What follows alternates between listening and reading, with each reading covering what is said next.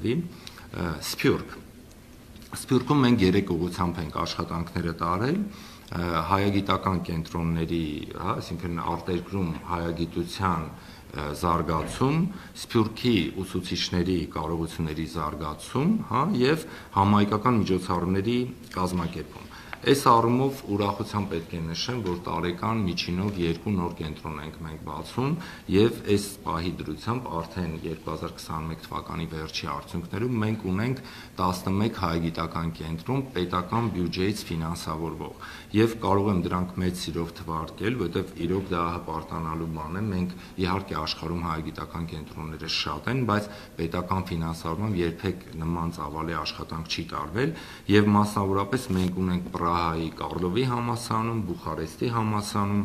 Զալցբուրգի համասանում, Վենետիկի Կաֆոսկարի եւ Հռոմի Լա Սապիենցիայի համասանում, ընդ որում Լա Սապիենցիայում դա արդեն մեկ հետազոտական ծրագրից դառնում է ամբիոն եւ մեր ֆինանսավորումն է ավելացել եւ իրենց հետ համապատասխան համաձայնագրով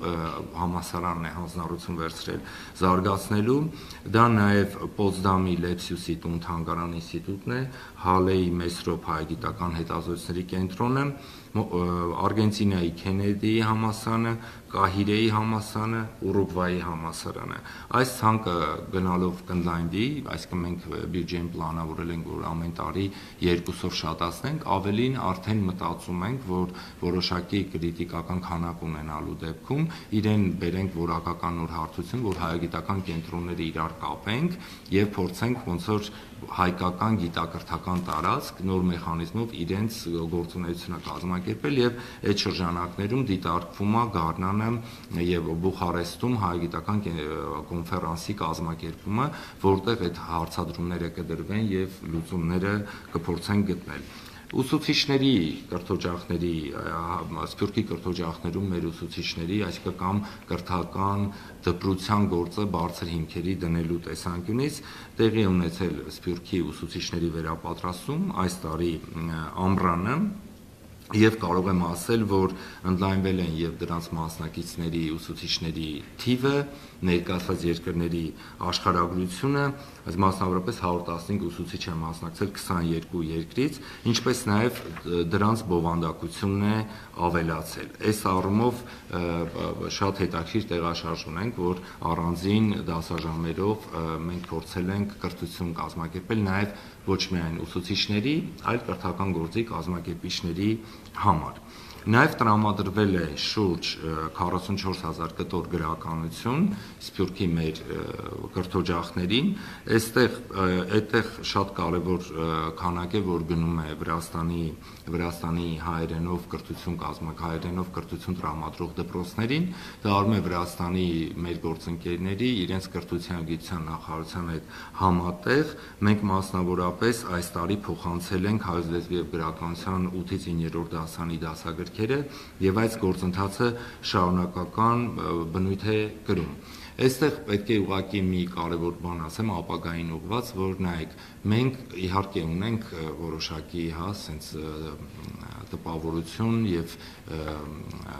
հաշվարկ, թե որտեղ ինչ դպրոցում ենք, բայց ուզում ենք էլեկտրոնային հարթակ ստեղծել համապատասխան, որտեղ այդ դպրոցները իրենք կներկայացնեն իրենց պահանջները եւ դա մեզ հնարավորություն կտա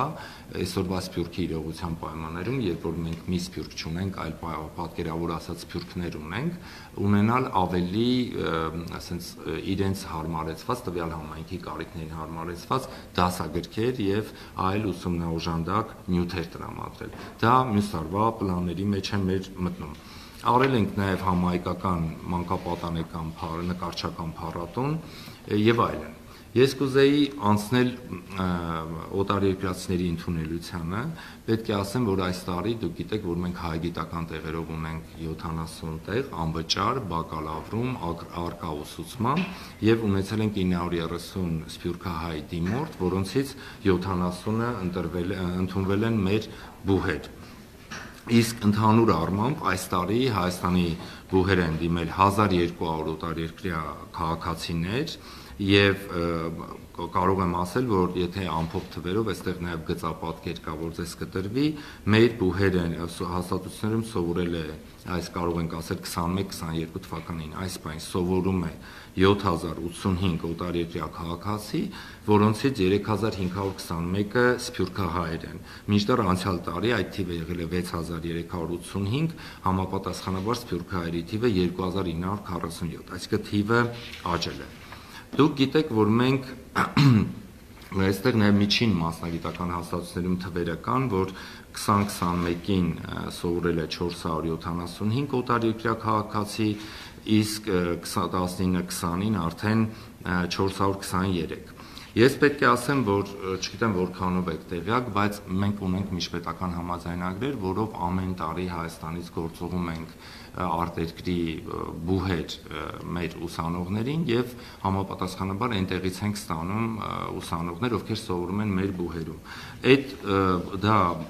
ես ուղղակի 21 թվականի 21-22 տարվա տվյալները ներկայացնեմ։ Մենք Ռուսաստան գործողել ենք 209 եւ այնտեղից եկել են 31, Ռումինիա գործողել ենք 4 եւ ոչ ոք չի եկել, Բուլղարիա 3 չեն եկել, Չինաստան 10, իսկ Չինաստանից Հայաստան ունենք 3 ուսանող, Հորդանան գործուղել ենք 6, այնտեղից եկել են 30, Վրաստան գործուղել ենք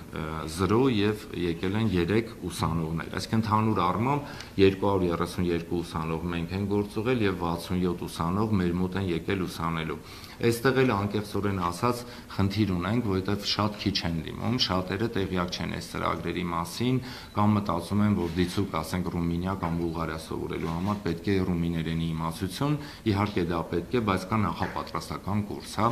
եւ մենք անկեղծորեն կարիք ունենք մեր մեր մաս մեդիայի, մեր լրատվամիջոցների ակտիվ աջակցությանը դա մաքսիմում լուսաբանելու, որովհետեւ մեր գերակա շահն է, որ ուսանողները տեղյակ լինեն, իսկապես լինի ավելի բարձր մրցակցություն եւ այս հնարավորությունը, այս պատուհանը արտերկրում լավ կրթություն ստանալու եւ գալու ու Հայաստանում օգտակար լինելու ավելի արդյունավետ իրացվի։ Նաև գամ երիտասարդ